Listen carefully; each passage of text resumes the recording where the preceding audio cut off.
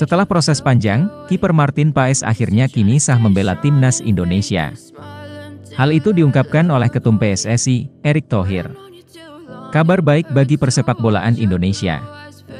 PSSI pada hari ini menginformasikan bahwa setelah melalui proses yang cukup lama dan ekstensif, Martin Paes akhirnya telah berhasil didaftarkan dan sekarang secara sah dapat bermain mewakili tim. Nasional Indonesia, tulis Erick Thohir di media sosial pribadinya. Dengan rasa cinta dan bangga terhadap Indonesia serta cita-citanya untuk memberikan dampak positif terhadap sepak bola Indonesia, kami yakin bahwa bergabungnya Martin akan memperkuat tim nasional. Terutama dalam menghadapi putaran ketiga kualifikasi Piala Dunia, sambungnya. Untuk diketahui, Martin Paes sebenarnya sudah disumpah jadi warga negara Indonesia, WNI, pada 30 April kemarin. Akan tetapi, pemain berusia 26 tahun itu belum bisa membela timnas Indonesia. Sebabnya, Paes pernah-pernah membela timnas Belanda kategori kelompok usia kala sudah menginjak 22 tahun. Sementara FIFA punya aturan, bahwa pemain tidak bisa memperkuat negara lain di usia lebih dari 21 tahun saat ingin pindah asosiasi. Paes sendiri pernah menjadi bagian tim Belanda kelompok usia. Mulai dari Belanda U19, U20, dan U21, adalah tim-tim yang pernah diperkuatnya dalam rentang waktu 2016-2020. PSSI selanjutnya ambil langkah dengan memperjuangkan Martin Paes di Pengadilan Arbitrase Olahraga, CAS. Sidangnya digelar pada 15 Agustus kemarin. Akhirnya, seperti diumumkan Erick Thohir, Paes kini bisa memperkuat timnas Indonesia. Diakini, kiper FC Dallas itu bisa bermain di ronde ketiga kualifikasi Piala Dunia 2026 zona Asia yang akan dimulai September nanti.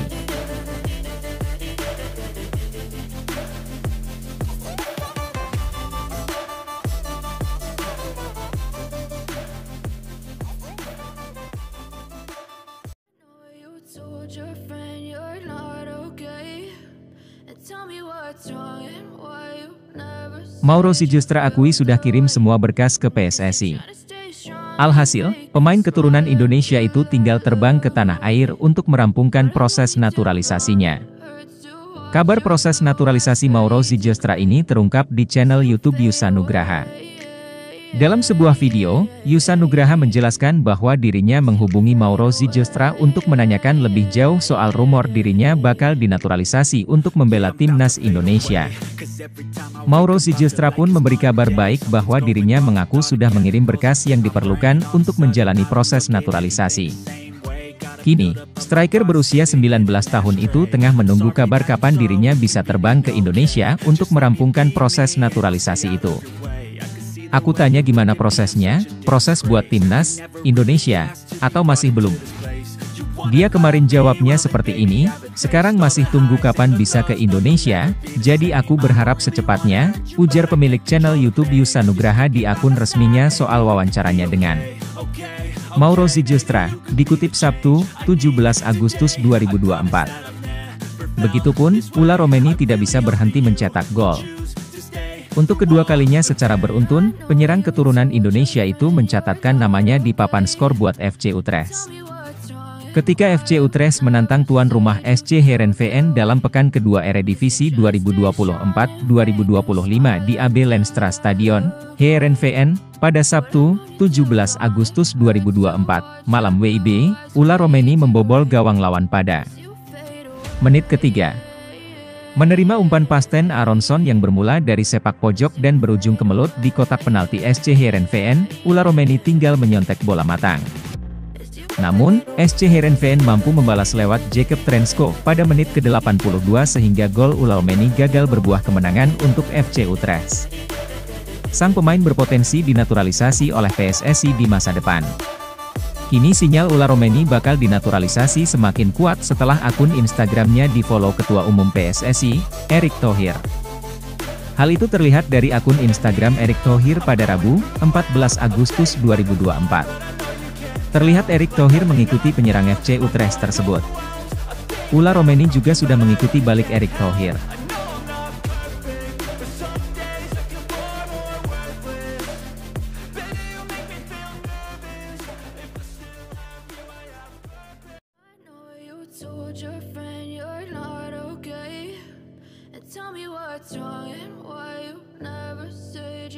Mauro Sijustra akui sudah kirim semua berkas ke PSSI.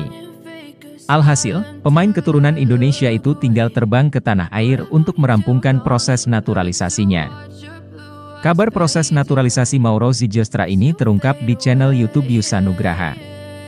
Dalam sebuah video, Yusa Nugraha menjelaskan bahwa dirinya menghubungi Mauro Zijostra untuk menanyakan lebih jauh soal rumor dirinya bakal dinaturalisasi untuk membela timnas Indonesia. Mauro Zijostra pun memberi kabar baik bahwa dirinya mengaku sudah mengirim berkas yang diperlukan untuk menjalani proses naturalisasi. Kini, striker berusia 19 tahun itu tengah menunggu kabar kapan dirinya bisa terbang ke Indonesia untuk merampungkan proses naturalisasi itu. Aku tanya gimana prosesnya, proses buat timnas, Indonesia, atau masih belum? Dia kemarin jawabnya seperti ini, sekarang masih tunggu kapan bisa ke Indonesia, jadi aku berharap secepatnya, ujar pemilik channel YouTube Yusanugraha. Terus aku reply dia kan, aku bilang, kamu sudah proses semua berkas-berkas bro? Aku juga berharap bisa cepat, lanjut Yusanugraha. Dia, Mauro Zijostra, jawab, aku sudah kirim semua berkas, jadi aku sekarang tinggal tunggu saja. Jelas Yusa Nugraha dalam video yang diunggahnya di YouTube dengan judul, The Unroads, Breaking. Ini dia yang tajam. Nama Mauro Zijostra memang ramai disorot belakangan ini menyusul munculnya rumor bahwa dirinya akan membela timnas Indonesia. Diketahui, Mauro Zijostra sendiri bermain di posisi striker. Alhasil, kehadirannya bisa jadi solusi untuk mengatasi masalah lini depan timnas Indonesia yang masih kurang tajam saat ini. Mauro Sijustra sendiri kini membela klub Belanda, yakni FC Volendam. Sebelumnya, dia membela NEC Nijmegen U21 pada musim lalu. Statistik striker muda itu pun mentereng. Mauro Sijustra bisa mencetak 9 gol dan 19 pertandingan bersama NEC Nijmegen U21 di sepanjang musim 2023 hingga 2024. Mauro Sijustra mendapat darah Indonesia dari neneknya. Diketahui, nenek Mauro Sijustra berasal dari Bandung sehingga dirinya memenuhi syarat untuk dinaturalisasi. Kini, menarik menantikan kelanjutan kabar naturalisasi Mauro Sijustra. Akankah dia bisa segera resmi dinaturalisasi untuk membela skuad Garuda?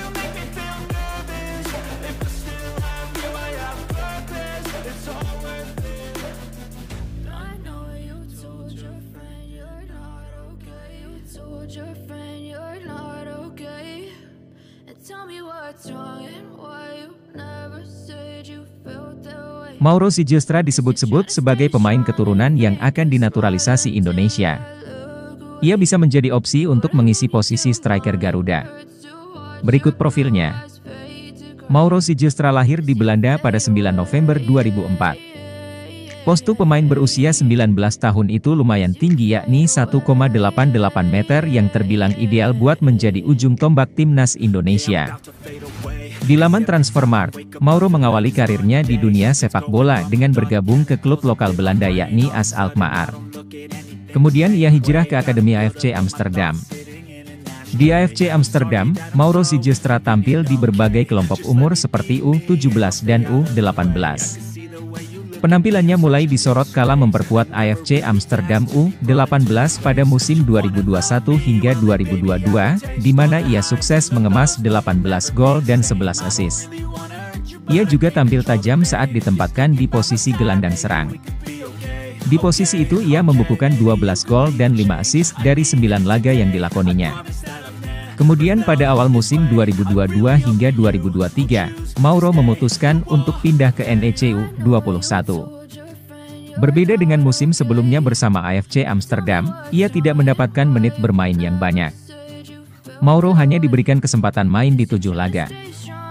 Dari tujuh laganya di semua kompetisi, ia mengemas tiga gol. Ia cuma sekali main penuh selama 90 menit di dua laga divisi 2 musim gugur U21 kontra Den Bosch U21 dan Vitesse. Mauro tampil gemilang di laga melawan VVV Venlo U21 dengan mencetak hat-trick alias untuk membantu kemenangan timnya. Terkini, ia menyatakan berminat membela Indonesia dalam sebuah wawancara. Mauro Sijustra mengatakan bahwa dirinya dikontak oleh PSSI. Namun, hingga saat ini belum ada kesepakatan antara kedua belah pihak. Mauro menjelaskan bahwa proses ini membutuhkan waktu. Saya sudah dihubungi oleh PSSI, tapi saat ini belum ada kesepakatan. Saya butuh waktu untuk benar-benar mengabarkan hal ini, kata Mauro Zijestra kepada Kumparan, Sabtu, 6 Juli 2024.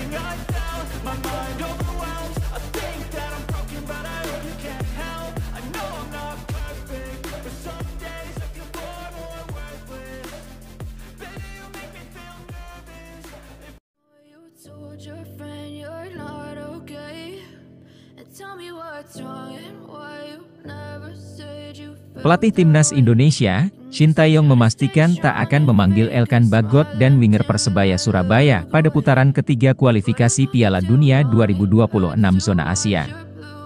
Kepastian itu disampaikan langsung Shin Taeyong saat menonton langsung laga Malut United kontra Persebaya di Stadion Madia GBK, Jumat, 16 Agustus 2024, sore waktu Indonesia Barat.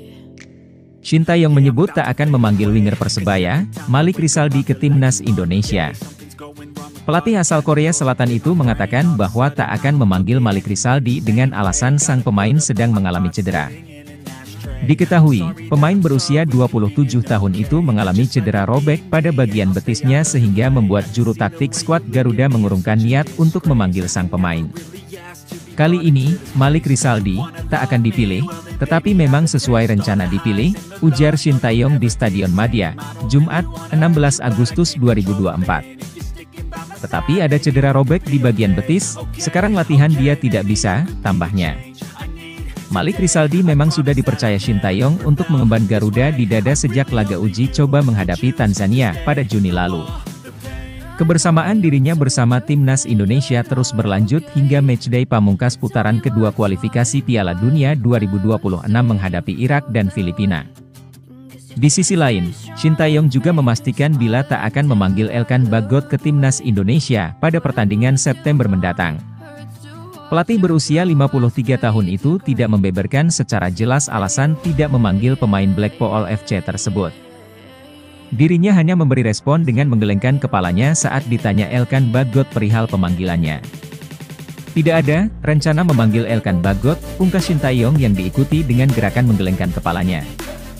Timnas Indonesia diagendakan akan melakoni dua laga dalam kualifikasi Piala Dunia 2026 menghadapi Arab Saudi dan Australia pada awal September mendatang. Skuad Garuda akan bertindak sebagai tamu terlebih dahulu ke markas Arab Saudi pada 6 September yang dilanjutkan bakal menjamu Australia pada 10 September di Stadion Gelora Bung Karno.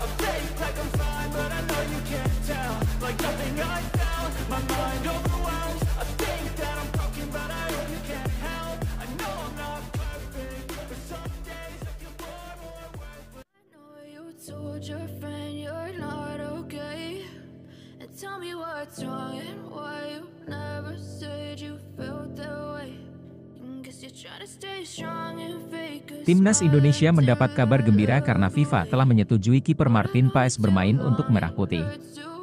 Ini berarti kiper yang kini memperkuat Dallas FC ini bisa membela timnas Indonesia pada kualifikasi Piala Dunia 2026 putaran ketiga yang dimulai September mendatang. Indonesia bernapas lega, kiper andalan Martin Paes bisa bergabung dengan timnas Indonesia. FIFA menyetujui proses perpindahan kewarganegaraan Martin Paes dari Belanda ke Indonesia. Hebatnya, Federasi Sepak Bola Belanda ikut membantu proses Martin Paes di sidang pengadilan arbitrase CAS FIFA.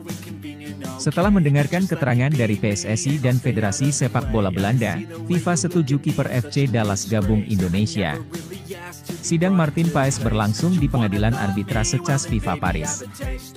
Dari keterangan sidang Martin Paes, FIFA tinggal memproses administrasi Martin Paes. Pengumuman resmi dan administrasi Martin Paes dijawabkan FIFA paling lamban pada 18 Agustus 2024. Dengan demikian, penjaga gawang berusia 26 tahun itu bisa ikut berjuang membela Indonesia yang tengah berupaya untuk tampil di Piala Dunia 2026. Pada putaran ketiga ini Indonesia berada di grup C bersama Jepang, Australia, Arab Saudi, Bahrain, dan Tiongkok. Paes sendiri telah mengambil sumpah sebagai warga negara Indonesia pada akhir April 2024. Namun, aksinya membela timnas Indonesia tertunda lantaran dia pernah membela Belanda. Setelah sidang Court of Arbitration for Sport, CAS, yang digelar 15 Agustus 2024, dia diperbolehkan membela timnas Indonesia. Di antara negara peserta grup C hanya Indonesia dan Bahrain yang belum pernah tampil di Piala Dunia. Perjuangan Indonesia di kualifikasi Piala Dunia babak ketiga akan dimulai pada 5 September 2024 dengan bertandang ke Arab Saudi. Indonesia akan memulai aksinya sebagai tuan rumah saat menjamu Australia pada 10 September 2024 mendatang. Pertandingan terakhir kualifikasi Piala Dunia 2026 akan digelar 10 Juni 2025 mendatang. Saat itu Indonesia akan bertandang ke Jepang. Juara dan runner-up grup langsung lolos ke putaran final Piala Dunia 2026 yang akan digelar di Amerika Serikat, Kanada, dan Meksiko. Penghuni posisi ketiga dan keempat akan bermain di putaran keempat untuk memperebutkan tiket yang tersisa.